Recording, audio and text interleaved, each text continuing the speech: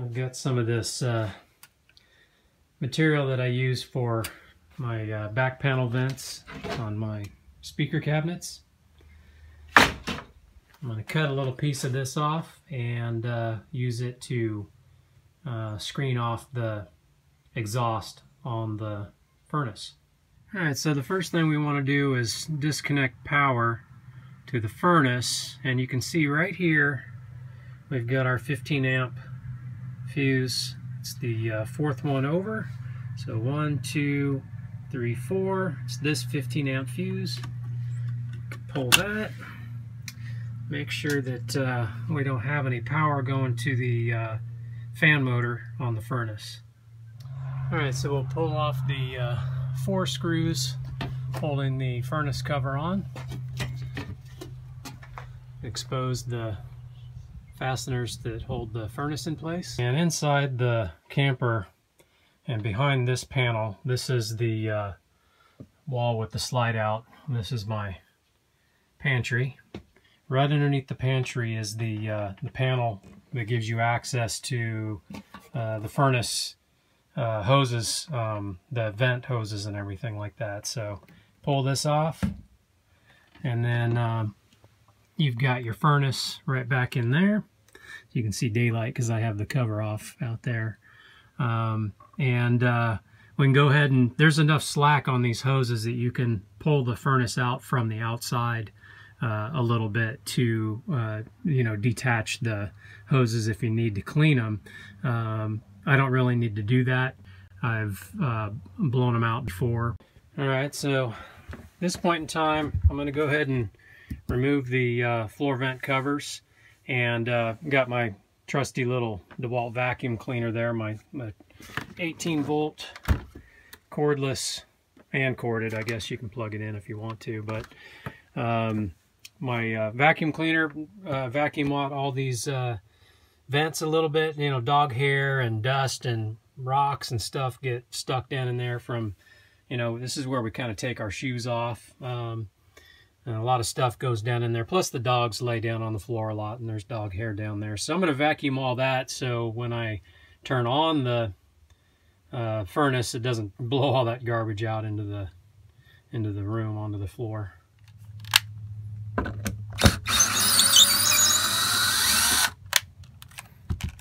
Okay, we can just take this and these just pull up. Make sure you do it evenly so it doesn't break. Okay, and yeah, you can see there's a bunch of bunch of dog hair and lint and some pebbles and stuff down in there and some actually some sand from the beach. Oh, there's all kinds of crap down there. Let's get that vacuumed out.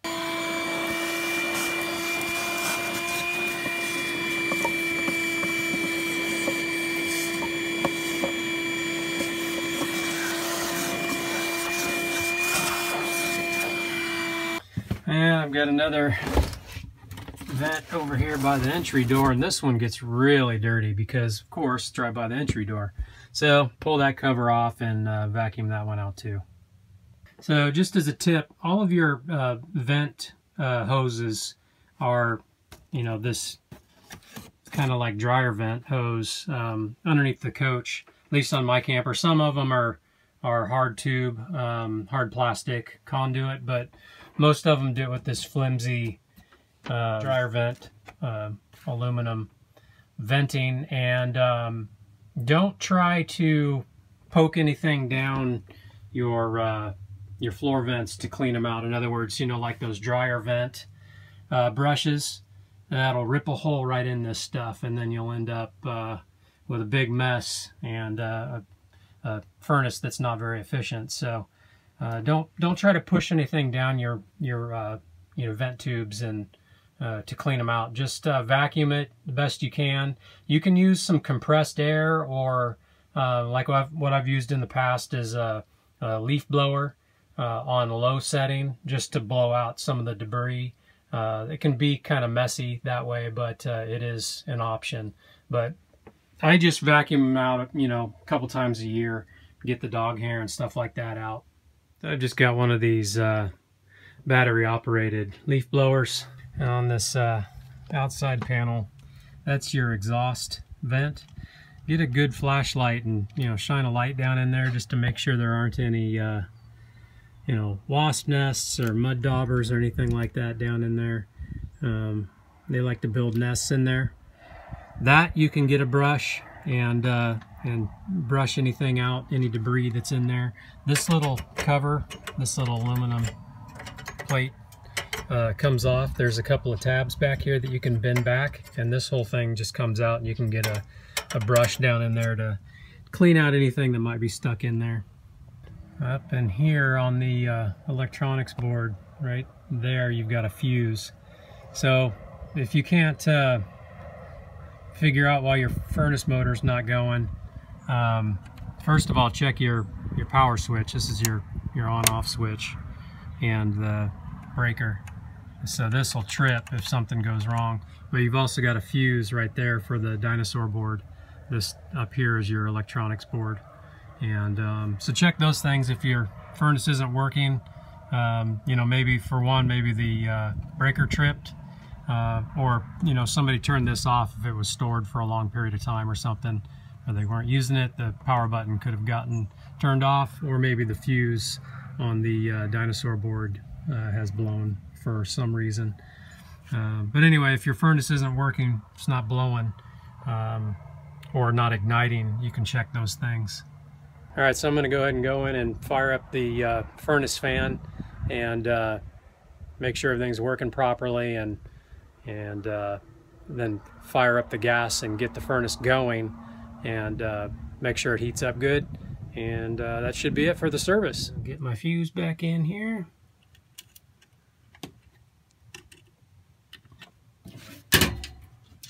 Alright, so over here on the wall I've got my, my Atwood thermostat. I can just go ahead and uh, turn the fan on just to make sure everything's running smooth.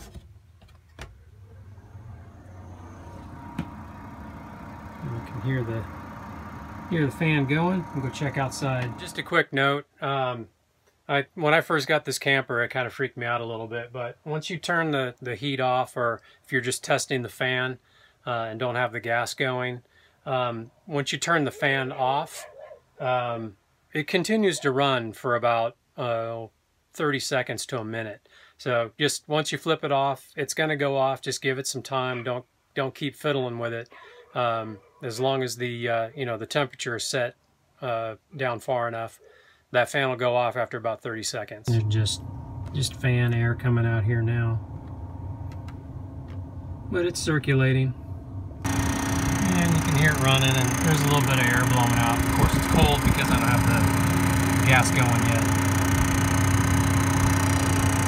All right, so this is that uh, cover that goes on the outside of the camper, and um, got the screen on the back there. I'm just going to mount that with a couple of stainless steel screws and um, that way because normally that hole would just be open but uh, I've had problems with wasps and stuff wanting to build nests up in the uh, exhaust tube so I'm going to cover that up and uh, I'll just keep an eye on it when I'm running the furnace. I don't run the furnace very often because I've got the buddy heater but uh, when I do run it I'll uh, check on the screen periodically just to make sure I'm not burning through it and uh, melting it or whatever. It's just uh, aluminum.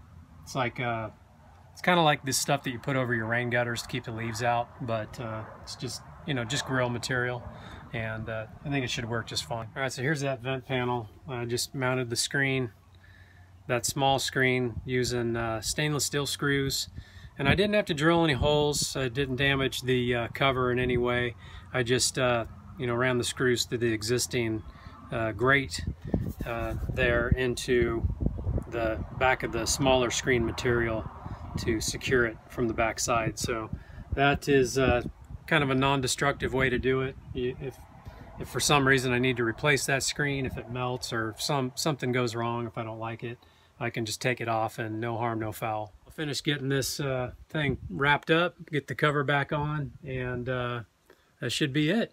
that's what it looks like with the new smaller screen put on. Keep those wasps out of there. Alright, so the temperature's all the way up. And blowing warm air. And it'll heat up real quick. Yes, and then I just turn that all the way down. That shuts the burner off.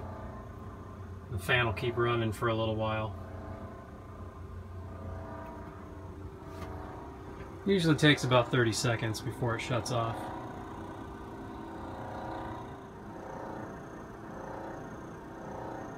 Fifty seconds. So a little over 50 seconds that took. Well, uh, I ran this for about, well, 10 minutes or so, and it, this got hot, but it, it didn't get so hot that I'm worried about it melting at all, so I think that's going to be just fine. Keep the wasp out, and uh, yeah, still vents really good, so I'm happy with that. And that's pretty much it for the uh, biannual furnace uh, service and cleaning. Uh, just like I said, do that a couple times a year and uh, keep it keep it running properly. Uh, one thing that I do just once a year, I didn't do it this time. I, I did it last time I cleaned it. Was uh, put a little bit of uh, dielectric grease on on the electrical connections and change the fuse. So I always change the fuse once a year. They're dirt cheap and uh, swap you know, them out, and that way you know they're going to be you know good for the for the next year. So um, that screen material should work just fine, but I'm going to keep an eye on it. And uh, yeah, so thanks for watching. And uh, if you haven't uh, subscribed to my channel, I'd really appreciate it if you hit that subscribe button. It really helps me out if you hit the uh, like button if you like the video. And uh, we'll see you on the next one. Later.